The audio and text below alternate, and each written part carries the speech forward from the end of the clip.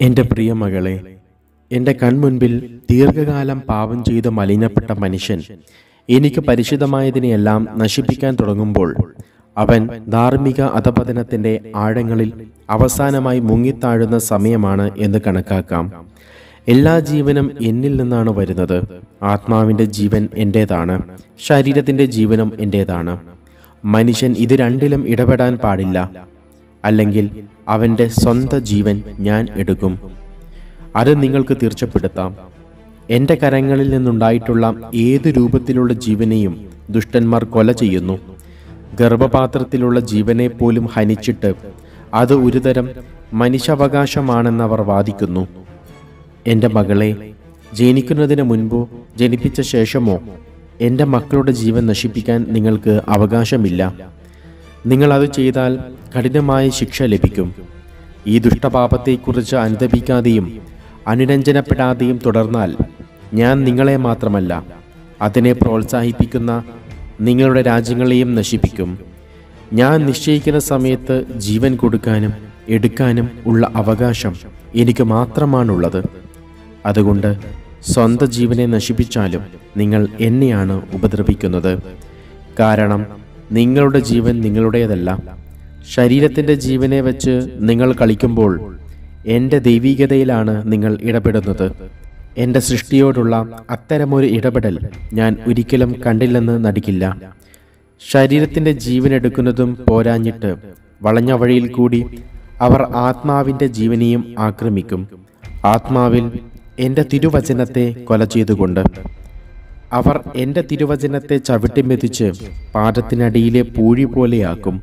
എന്നിട്ട് മനുഷ്യൻ ധിക്കാരവും സ്വന്തം കഴിവിലുള്ള വികൃതമായ കാഴ്ചപ്പാടും കൊണ്ട് തനിക്കൊരു പുതിയ വാസസ്ഥലം പുതിയൊരു ഗ്രഹം കണ്ടുപിടിക്കാൻ ശ്രമിക്കും.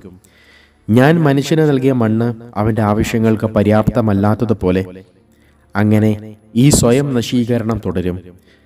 മനുഷ്യൻ തന്റെ തന്നെ മരണത്തിന്റെ കർത്താവാകും.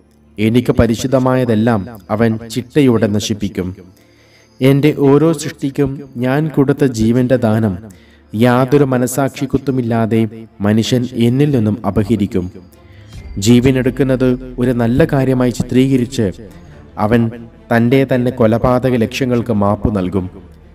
ഗർഭചിത്രം വഴിയുള്ള കൊലപാതകമാണ് ഏറ്റവും വലിയ ദ്രോഹം. മനുഷ്യകുലത്തിന് ഞാൻ താക്കീത് കൊടുക്കുന്നു. നീതി എന്റെ പക്കലായിരിക്കും. കാരണം ഈ പ്രവൃത്തിയിലൂടെ എന്നെ ശപിക്കാൻ ഞാൻ നിങ്ങളെ അനുവദിക്കുകയില്ല.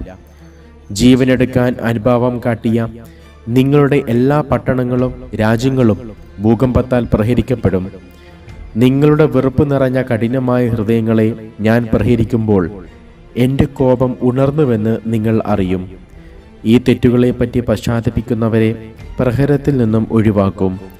എന്നാൽ ഓർത്തുകൊള്ളുക നിങ്ങളുടെ ഒരു രാജ്യം പോലും ഈ ശിക്ഷയിൽ നിന്ന് ഒഴിവാക്കപ്പെടുകയില്ല.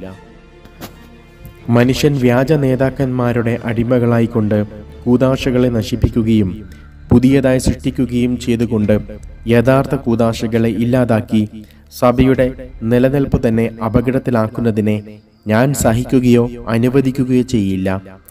എന്റെ പുത്രന്റെ തിരുശരീരത്തെ പങ്കിലമാക്കുന്നത് തുടർന്നാൽ നിങ്ങളുടെ ദേവാലയങ്ങളെയും പള്ളികളെയും ഞാൻ വലിച്ചു താഴെയിടും. നിങ്ങൾ എന്റെ മകനെ ക്രൂശമരണത്തിലൂടെ മൃഗീയമായി കൊലപ്പെടുത്തും വരെ അവനെ ചാട്ടവാറടിക്കുകയും പരിഹസിക്കുകയും അവന്റെ അനുയായികളെ പീഡിപ്പിക്കുകയും ചെയ്തുകൊണ്ടിരുന്നു. എന്നിട്ടും നിങ്ങൾ പഠിച്ചില്ല.